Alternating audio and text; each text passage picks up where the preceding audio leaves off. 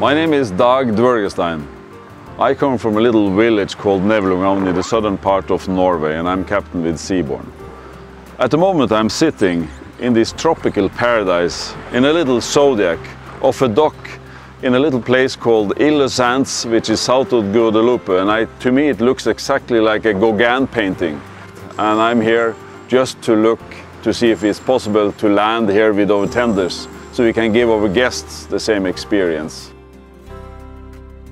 And I've been at sea for almost 40 years and it still fascinates me every day. My father was a captain, my grandfather was a captain, my great-grandfather was also a captain and sailing ship captains.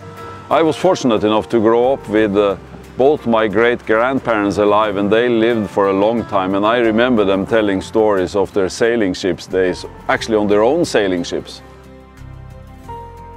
On uh, of course, I have my staff captain with me as well as the duty officer and the safety and environmental officers and of course the uh, junior officers, etc.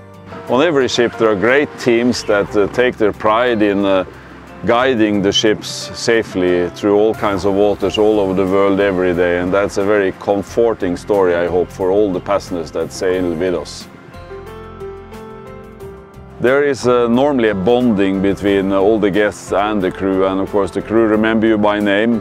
They know you drink, they probably know the table you like and, uh, and uh, they know their cabin they want to sit on etc. So uh, I, I believe this is what makes it different and I have to say that I'm very proud to be part of such a group that have one dedication only and that is to basically serve all the clients in the best possible way.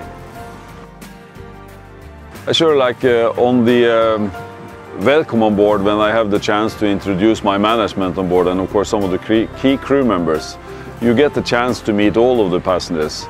And of course a lot of these passengers feel that the ship is their own private country home. It's like a home away from home. And uh, in such way they treat the ship as their and of course we also get to know many of them as we continue and of course they get to know us. So uh, all in all, it's a nice interaction and it's nice to see how people totally relax. After 12 hours, it's like uh, they have never been away. So that's a great way of seeing people enjoying their vacation. Ladies and gentlemen, dear guests, if or when you see this little clip, I sincerely hope that if you find me on board one of the Seabourn ships, please come and say hello. My name is Dag and uh, I think I'm easily recognized at least on the Scandinavian accent. So uh, I hope that I should be able to give you some great moments of cruising somewhere around the world. So until we see each other again, stay well and uh, au revoir as we are in France.